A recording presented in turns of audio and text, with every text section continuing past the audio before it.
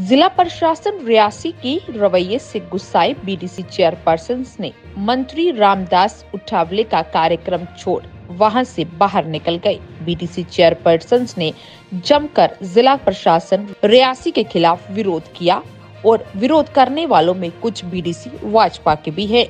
गुस्साए बीडीसीओ को मनाने के लिए जिला प्रशासन के उच्च अधिकारी भी मौके पर पहुँचे, लेकिन उन्होंने उनकी एक न मानी और जमकर अपनी भड़ास निकाली। बीडीसी चेयरपर्सन के आरोप थे कि हमें सही सम्मान नहीं दिया जाता है, जिसको हम काफ़ी देर से बर्दाश्त कर रहे हैं।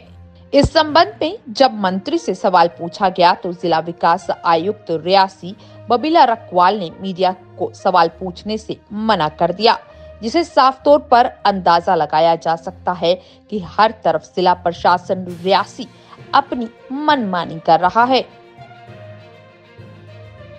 रियासी से करणदीप सिंह की रिपोर्ट।